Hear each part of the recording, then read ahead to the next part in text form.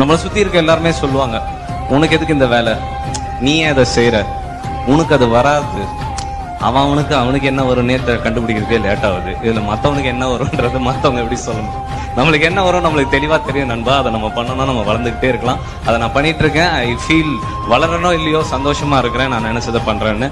இது வரைக்கும் பண்ணணும்னு நினைச்சு வீட்டில் சொல்லுவாங்க மற்றவங்க ஃப்ரெண்ட்ஸ் தப்பா நினைச்சிருவாங்கன்னு பண்ணாம இருக்கிறவங்க please break out come out எனக்கு குறை இருந்தாலும் அவன் மனசு நல்லா இருந்தா அந்த ஆண்டவன் எப்படியாவது கடைசியில அவனை ஜெயிக்க வச்சிருவாரு. வாழ்றதுக்கு ஒரு வாழ்க்கை செய்யறதுக்கு ஒரு வேலை லவ் பண்றதுக்கு ஒரு மனசு. அது இருந்தா போதும். யாரு வேணா ஹாப்பியா இருக்கலாம் சார் நம்ம வாழ்க்கையிலையும் நம்மளை வணங்குறவங்களும் இருப்பாங்க. நம்மளை வரவேற்கிறவங்களும் இருப்பாங்க. நம்மளை எதிர்க்கிறவங்களும் இருப்பாங்க. நம்ம நம்ம வேலை நம்ம கடமையை செம்மையாக செஞ்சுட்டு அந்த நதி மாதிரியே போய்கிட்டே இருக்கணும்.